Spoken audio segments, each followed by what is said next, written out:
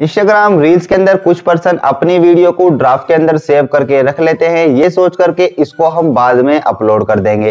पर उनको यहाँ पर ये नहीं पता होता है कि हमें कितनी वीडियो को यहाँ पर सेव करके रखना चाहिए। कुछ लोग यहाँ पर 10 वीडियो को कर देते हैं।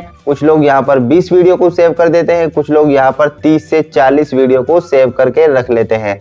पर यहाँ पर आप कुछ गलतियाँ कर रहे हो, जिस वजह से आपके पूरी की पूरी ड्राफ्ट वीडियो डिलीट हो जाती है, उड़ जाती है। उसके बाद में जो है, आप जो है, हम जैसे लोगों को मैसेज करके कहते हो कि भाई हमारे ड्राफ्ट की वीडियो डिलीट हो गई है। मेरे इंस्टाग्राम पर बहुत सारे मैसेज मुझे ऐसे देखने को मिल रहे हैं, जिनमें सभी का एक ही सवाल है कि भाई हमारी ड्राफ्ट की वीडियो डिलीट हो गई है, हम कैसे उसको रिकवर करें? तो आज की इस वीडियो के अंदर मैं आपको बताने वाला हूँ कि आपको उस मिस्टेक को नहीं करना है जो कि आप करते हो, जिस वजह से आपकी रील्स की जो ड्राफ्ट वीडियो होती है, वो डिलीट होती है। वीडियो बहुत इंटरेस्टिंग होने वाली है। अगर आप चाहते हो कि हमारी ड्राफ्ट की वीडियो डिलीट ना हो आगे से, इस वीडियो को बिना स्किप किए लास्ट तक का देखना है। वीडियो स्टार्ट करने से पहले अपने भाई का नाम जान लीजिए। मेरा नाम है शाहिद और आप देख रहे हैं Shahid S S YouTube channel channel पर नहीं हो तो भाई चैनल को सब्सक्राइब करके बेलाइकन को प्रेस कर लो ताकि आने वाली मेरी वीडियो की अपडेट आपको मिलती रहे। तो चलिए शुरू करते हैं।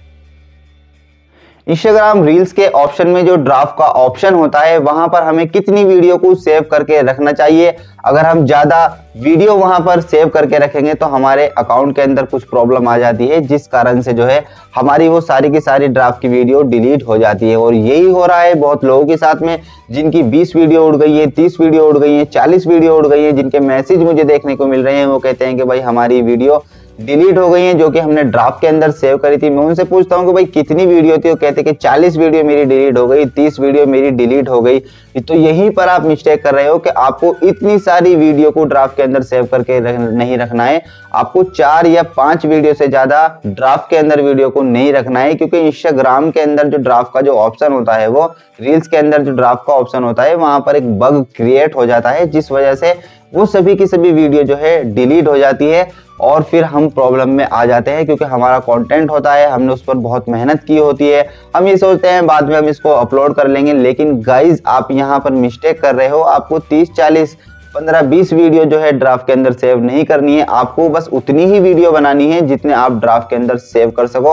और ड्राफ्ट के अंदर जो है आप चार से पाँच वीडियो को सेव कर सकते हैं। उससे ज़्यादा करोगे तो आप फिर से प्रॉब्लम में फंस जाओगे। ये वीडियो मैंने इसीलिए बनाया है। बहुत लोगों के मैसेज मुझे देखने को मिल रहे हैं जो कि कह रहे हैं कि हमारे ड्राफ्ट की वीडियो डिलीट हो जाती है। तो वहाँ पर वो मिस्टेक वही कर रहे हैं। दस, बीस, तीस, चालीस वीडियो जो है ड्राफ्ट के अंदर सेव कर देते हैं और उनकी सभी वीडियो वो डिलीट हो जाती हैं। आई होप कि आप समझ गए होंगे कि आपको जो है आगे से क्या करना चाहिए। आई होप कि आपको ये वीडियो अच्छी लगी। अगर आपको पसंद आई तो इसको लाइक करें शेयर करें। मेरे चैनल को सब्सक्राइब करना ना बोले तो मिलते हैं आपसे अगली वीडियो में।